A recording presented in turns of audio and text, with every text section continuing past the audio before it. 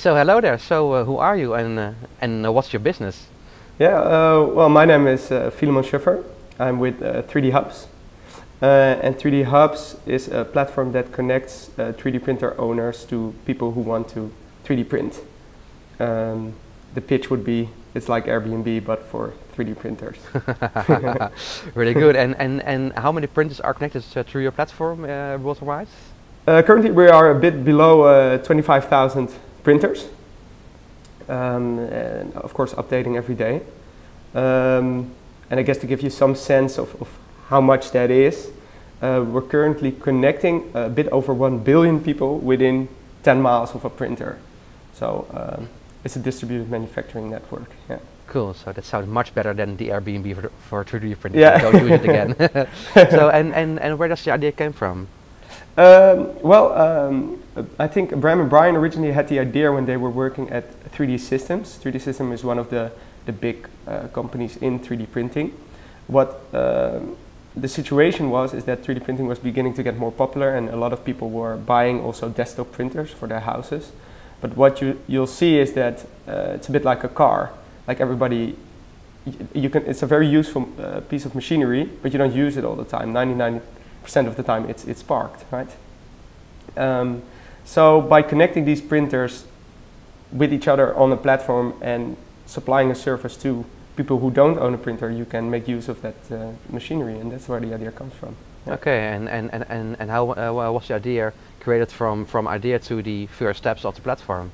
Um, so, so what the what the first actions were to, to make it a reality? Um, yeah, so basically, uh, what we made was a yeah what we call a concierge model of the platform. So basically, it was just a website stating like we connect you to a 3D printer, uh, but everything was done by hand behind the scenes. so um, yeah, within a, a, couple of hours of putting the website live, the first order came in. So that was um, a guy. It's, a, it's actually a funny story. It's a guy who is sort of this bungee jump, extreme sports kind of guy, and uh, he always does this with with this GoPro uh, thing to make footage for from his uh, yeah his uh, challenges and adventures. Um, but to connect that to his gear, he always needs like some sort of adapter, and he, usually bought that at Amazon or whatever. And, and I don't know how, but he find found 3D hubs like uh, pretty easily.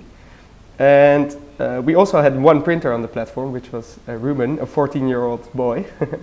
Uh, and 3D printing is, is his life, basically, and he knew everything of 3D printers. So we connected the two, and Ruben, the 14-year-old kid, printed an adapter for uh, Ken, and the guy could uh, use his GoPro for his jump. So that was pretty cool. That was the, the first case, yeah. Cool, and then from, from 1 to 25,000, that's quite a, a, a, big step. So, yeah. at what way, because when you look at growth of platforms, uh, uh, especially in the beginning, you really have to put much effort on it. Yeah. But in the end, uh, you really have to make big steps uh, because in else you will never be a, a global platform. So, at way did you manage to really make this really fast grow? Because uh, uh, in which year, in which year did you start? We started in 2013, May. May 2013, so that's a bit over two years ago now. Okay. Um, yeah, and I think uh, what we discovered quite quickly was uh, the community uh, aspect of 3D printing. So the community for us, 3D Hubs, is, is really key. And what we saw is that um, there was a lot of word of mouth amongst printer owners. So when a printer owner found us, uh, pretty soon through word of mouth, other people joined. But of course, that wasn't like a very steep growth. It was steady. Um, and we were in a situation where, on the one hand, you want to grow faster, but on the other hand, we had printers signing up everywhere, like in the middle of nowhere, in, in Kazakhstan, in uh, well, mention any country, and um, the operations to run that were uh, pretty tough for us. So um, I think what was really key at the time is that we locked every city, so you could sign up as a printer owner, but the platform wouldn't work, so that reduced our operations you know, everywhere around the world. But when there were 10 printers online, or, or 20, depending on where you are, we would unlock the city and the platform would go live. Uh, and we would throw a party. okay, so, uh, so, so, so, then you also uh, uh, helped the, the printer owners to find other printer owners exactly. and, and, and, really gave them the chance, okay, when, uh, when there are 10 of you, okay, then we go live in your city. Exactly, exactly. So what happened then is that, uh, take any city, New York, you need to unlock New York if you have 25 printers. And like within days, we went globally from a few hundred to thousands uh, printers because this was sort of gamification people really liked. Um, so we were on the plane a lot to throw parties uh, in a lot of cities. cool, cool. And and and how's your and how's your organization? How is your organization built up? How many people are working uh, at 3D Hubs? So so we're now a bit over 35 people. Um, uh, yeah, a large part of which are, are developers, of course, uh, because in the end we are a, a website, a platform. Uh, but I think uh, if, if, if I need to highlight one thing is that that 3D Hubs has a pretty um, yeah how to put it quite a large focus on uh, what we call community and, and branding and, and, marketing kind of things. What you normally see with tech startup is that, well, the majority is, is, tech developer and you have one or two guys doing the rest. And we, from the outset, focused a lot on building the brand and the community, also to make it harder for others to, to, to copy uh, our, our platform. And um, so that's something I, I could highlight there, but a bit over 30 in total now.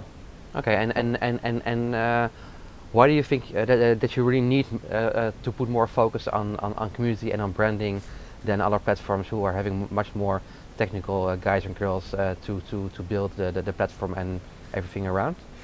That's a good question. I, I, think it started as an opportunity. So when we saw the community was a, because when we started, we thought the big challenge for a network would be setting up supply. That was the, the, the thinking at the time. And therefore, when we saw that the, the 3D printing community was so close and, and into this sort of gamification of unlocking cities, uh, we put a lot of effort in there. And, and yeah, when you want to communicate and, and, send out a message, the brand also becomes uh, more important, of course. So that's, that's the opportunity where it started. And then along the way, the, the brand itself became also a really powerful uh, means for us to uh, share media stories or to uh, and to be in touch with other brands. And, and that's why we kept developing it. And I also understand from the investors that it, when you invest in a company that has a strong brand, the risk of uh, other platforms copying uh, your model, of course, decreases. So these are a number of things which, for us, historically speaking, uh, were reasons to focus a lot, uh, put time and resources on those. Yeah. Okay, and uh, and is the market with with much competition? Because I think uh, the, the, the, the, the 3D printer movement will be only will uh, uh, get, getting bigger and bigger the next years? Yeah, that's a good question. So it, it, depends a bit on, on what you scope as your, your competitors. Like um, another Dutch company, um, uh, Shapeways, which is originally one of the first move, movers to market, you can consider them to be a competitor in a way. They also provide a 3D print service. Um, on the other hand, I, I, guess the dream for us is really to disrupt manufacturing, right? So where you're currently, when you order something, it is already been made in, in, in China, any, any kind of product this can be. Uh, by the hundreds of thousands, it's, it's stocked somewhere, either internationally or, or locally, and they hope to sell it, and if not, they throw it away. That's currently how the production value chain works. Whereas what 3D printing can offer is that, okay, I, I am on 3D hubs, for example, and I place an order, and the moment you buy, somebody locally makes it, and you can pick it up the same day. There's no waste, there's no transport. Uh, you only make it when somebody buys. Um, so the, the, sort of value chain model of production is a lot, lot nicer. So that's that's the bigger dream, and in that dream, you could even say eBay or Amazon would be the competitor, but we're not there yet. Yeah. maybe in two years. And, yeah. and, and, and, and, and, so okay, the, the supply side went really fast because of also gamification. Yeah. So how did you put up uh, uh, uh, to, to uh, how did you realize also to to get also the demand side uh, on the speed? Because in the end, that's a danger of platforms when the supply side is going really fast and people are not uh, getting any demand. In the end, then then the energy will flow away. So yeah. in what way did you also manage to really grow really fast the demand side? Yeah, so, so that is a challenge. I think that's the most honest answer. I mean, uh, the growing the demand in par with the, with the supply is, I think, for a lot of platforms, the main main challenge. Um, what what helped us a lot is that we uh, we did some surveys, some research, and and also through the community, we knew pretty well who our customers were. So we have, a, uh, I think, uh, a pretty good view of who our customers are, and therefore uh, can have a pretty targeted approach. Um, so one thing we do, we are pretty active in education now, which is a large part of our customers, and that way we hope to to stimulate uh, the demand side, and it works pretty well. Yeah, so uh, we can cannot complain. Yeah. And and and besides uh, education, what are your most important uh, clients? Uh, clients? Uh, students. You know, in, in in that area, students for sure. So. Um, when you look at 3D hubs, um, the first question the website actually asks you is, um, can you upload your file for printing, right? So uh, when I sent my mom to the website, uh, she's like, uh, yeah, okay, what do, what do I do, right? So that the first sort of scoping is somebody needs to either know where to get a file or able to design a file themselves. So this narrows your, your niche for your customers down to a very small group, big enough to, to reach your growth target, but very niche. Um, and these are like uh, all the obvious uh, people, like designers, architects, engineers, the people who work with prototyping, creating products, etc.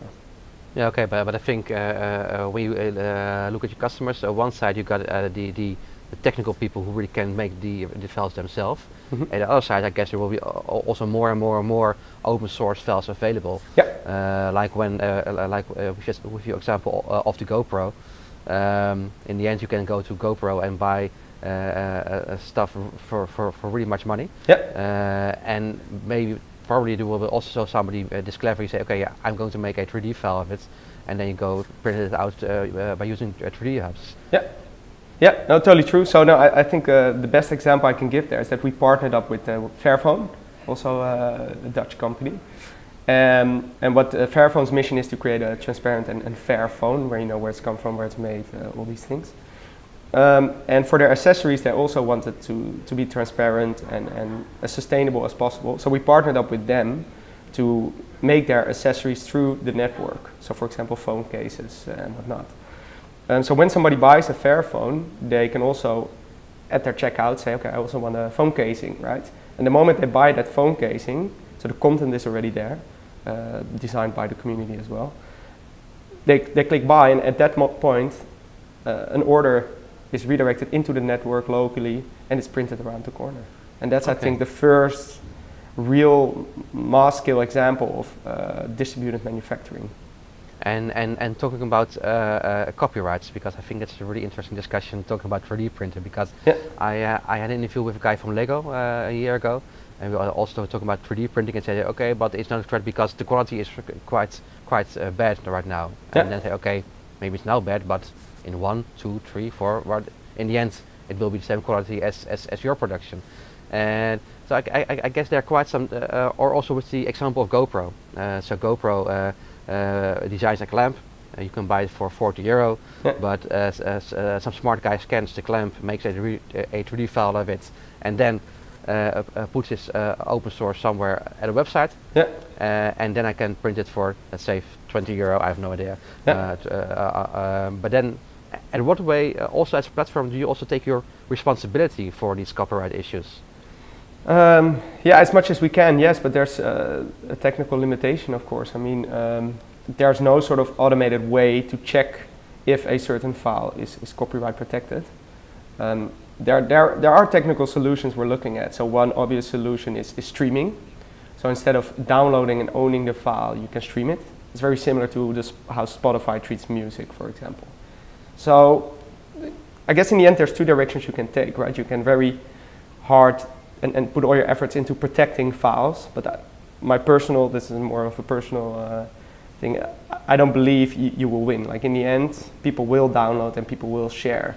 So I, I, very much believe in, in, for example, the Spotify or Netflix model for that matter, where you start streaming content, which can also be products which you can print. And therefore, uh, for each stream, you, you pass a certain amount to the designer or to the yeah whatever. Yeah, so so in the end, uh, it also really uh, uh, uh puts on the uh, responsibility also to the to the big organizations that they also are going to think about okay how are we going to also make a revenue almost the same like like I said with the music industry. Yeah. In the beginning, people were doing it illegally, and then the industry say okay, but we can also think about new ways to yeah to make profits of these new developments. But are there because uh, that's uh, I guess a, a quite a a a, a, uh, long-term term thing because the industry isn't really fast in in, in, in change. Yeah. Um, are there already in the world some lawsuits from from big organizations to the platforms? Because I'm really interested in in, in, in like when a US platform getting sued because of a copyright issue, same like with, uh, Kickstarter. They also had, had, a lawsuit because there was a, a, a, a product on the website uh, uh, Uh, uh, that it uh, uh was violating some some copyright issues, and then you say, okay, but you as a platform, you facilitate this, so you're also partly responsible of of, of the the crime. Yeah. Yeah, um, so when it comes to legal, I need to be very careful because this is not my expertise, just to, to make that note. Um, I don't know of any big issues yet currently. So we as a platform have never encountered this. Like simple things we can track, we do of course. So for example, weapons, uh, when it's some, some, in some way recognizable, we have some systems in place to check that, right? Um, although, I mean, I think a lot of the sort of risk people see here is, is in the end, I mean, it's very hard to print any kind of weapon, a lot harder than it is to buy one, I guess. Um, uh, but other than that, like we've never been into any, and I've never heard of anyone like printing somebody with, with something which got got them into trouble. No. Um, but again, I mean, we're, we're experimenting also with the, with the big brands to sort of stream uh, their content. So we, we, we have as a platform an API which we call Teleport, which I think is cool. So this is when you integrate the API on any uh, file which is printable on any product on your own platform. So I can imagine a future where Nike has a shoe which you can sort of tweak and design, and the shoe. I mean, you've scanned your foot to the Nike ID uh, you have, right? So Nike has your exact uh, dimensions of, of, of, your foot. You, you sort of customize the shoe, you hit print, and it's being printed around the corner. And this is yeah. uh, the future I would like to see. Yeah, but I think then also your main message to corporate is, is, is, is take it as a new opportunity instead of a threat of your existing business. Yeah, and I think in, in that sense we are we are quite lucky for from what's happened in the music and and uh, movie industry, especially, especially music. I think was one of the first sort of industries where, where this problem arose, and I feel that the the system is now sort of solved. People say, okay, we can stream and we, we make money other ways, and I feel uh, the 3D printing industry can benefit from that. Yeah, yeah. And, and talking about the organization uh, and, and, and also the funding, because uh, they're working at 35 people. Yep. Uh, you're talking about investors. So at, at what way was uh, was uh, the, the funding uh, of the company done the the, the, the, the, the last yeah two and a half years? yeah. So um, um, I would almost say like a typical for startups. So seed funding was very soon after inception of the the company. So again, May 2013, if I'm I'm correct. Um, and then a bit over one year later, so September 2014, yes, we uh, we had a Series A uh, funding round, and uh, we plan. I don't know the, the exact dates. Again, also the finance is not uh, in my expertise, but uh, I think somewhere uh, quarter two next year we we aim to raise Series B. Yeah. Okay, and, and, and it's easy to get investors because I think everybody sees the potential of the market. Yeah. Um, well, I, I, mean, we're confident. I wouldn't say easy. I mean, you have to show show resu results, obviously. Uh, no, but we're confident that if we show uh, the current growth numbers and then together with the potential 3D printing has, that uh, we could be successful there. Yeah. Yeah. Cool. Cool. And and, and, and, and talk about the customer journey because, uh, like, uh, when I want to print something on your platform, so that I then have the file. Um, how does it work? Uh, do I have direct contact with the person who is printing it, or how does it yeah. work? So, um, so I'll just walk you through the process, right? So you land on the on the homepage, you, you click uh, the big button, I want to print something. That brings you to like a upload screen. So you drag and drop any file in there, or you, you browse a file and you select it. Then you get a, a, selection screen where you sort of set your requirements. Like I want it green and I want it in uh, in wood, for example. You can print wood nowadays. Um, and then we give you an option of hubs. Uh, that this is what we call printer owners hubs. And you select one of those hubs and, and you say, okay, place my order at this hub. And all the prices uh, for each hub are, are there as well. So like any e-commerce experience, I would say. And the moment you place the order, you, an, an, order page will be generated where you can communicate with the hub about the, the details, which is still necessary. And, and that's also where it differs from e-commerce at this point, is that 3D printing is still complex. So uh, to streamline that experience is also like uh, something we we put a lot of efforts in. Yeah. And and then at the end, uh, did, uh, the, the, the transportation, uh, uh, do people really pick it up or do they send it by post? Yeah, both. So we, we have all the standard shipping services integrated, but of course the local pickup is, yeah, it's the most elegant, right? You, you you print something, you order something, you pick it up at your neighbor. I think that is the the strongest the strongest way to do it. Cool, cool. And, and, and, and how many and how many prints do you facilitate uh, uh, in, in, in a year or a month or whatever? I, I, that's, I think about the only number I can disclose. no, I was afraid you would say yeah. that. uh, um, what I can say, say is, uh, yeah, how to how to put it without saying the number. I mean, we have very good growth there, and uh, yeah, relevant numbers. It's not like some. It's it's it's quite a few. Yeah. Okay. So so, yeah. so, uh, so I, I I have to trust you on that. And yeah, yeah. also, question because uh, also uh, uh, in sharing uh, like with Airbnb, there are people who are really Uh, doing it for one time a year, yep. and there are people who are doing it uh, almost like a business. Uh, are there also some some some some tax challenges or questions from the tax services when people when people also the border when people are doing it as a hobby yeah. and when they are doing it as a professional and then they also have to pay taxes of it. Yeah, um, so we have a distinct. So from the supply side, from so from the supplies perspective, we have a we make a separation there. So um, we have an, uh, what we call an HD service, which are the industrial printers, so to say. So these are obviously the, the, the more the, the company like. Um, but I think part of this this whole process, like, like what I would hope in the future is that, that, that the, the separation between the two basically disappears, right? The dream is also, and, and, and it's getting there, that a desktop printer as the computer becomes like a fully advanced operating machine, right? Uh, and currently this is not always the case, meaning in the end 3D printing is still also early days. So industrial machines can do stuff a desktop printer can't at this point. Mm -hmm. But um, this will change. Uh, and then the, the distinguishing between a professional supplier and a sort of hobby supplier becomes less relevant, I think. Yeah, yeah, yeah, cool. And and, and, and last question. So uh, you're now up and running for for over two years. So like when I will will, will call you again uh, uh, in two years. So wh wh uh, where are you then with uh, with, with 3D uh, hubs? um, well, I can I can put some personal preferences here. Maybe that's sure, that's easiest. Um, now I think uh, we are by far like totally up and running, and then the, the growth we currently see has, has continued, right?